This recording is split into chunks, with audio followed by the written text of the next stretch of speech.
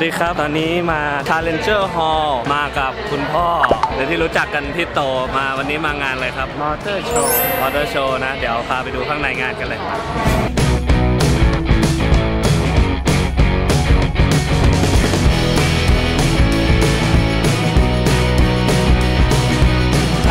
ามพ่อว่ามามอเตอร์โชว์ครั้งสุดท้ายเมื่อไหร่ โอ้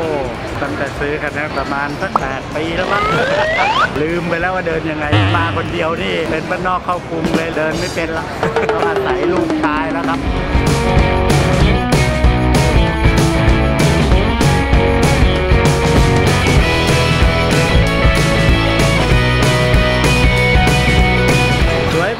มากเลยครับทิปปี้งานนี้ แต่คำนำหน้าของเธอคือนายนะครับ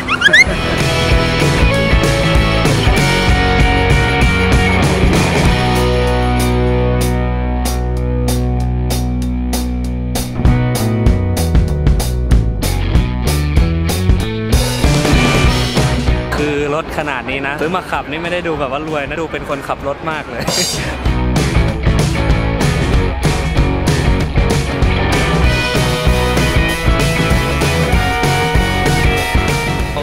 พาพ่อมาดูรถที่ Challenger Hall เมืองทองธานีแล้วก็เดี๋ยววอล์กหน้าผมจะพาไปไหนอีก อย่าลืมติดตามนะครับผมวันนี้ขอลาไปก่อนสวัสดีครับ